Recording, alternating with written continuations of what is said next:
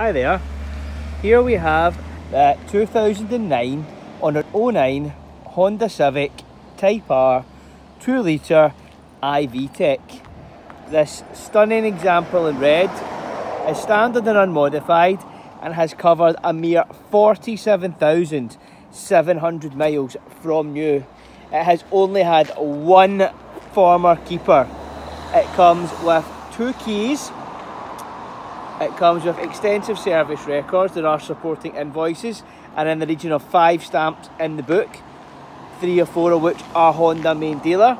As you can see, the bodywork is in fantastic condition, although there may be a few age-related marks, as you would expect a vehicle this age. The wheels are also in similarly good shape. Car is standard throughout. The, the standard fit Type R bucket seats. Let's take a little look inside just now. We go, excellent condition again, no bolster wear or anything like that. As you would expect of a low mileage car. Steering wheel controls, dual zone climate, all other modern conveniences. The, probably the best thing about the car is the mileage.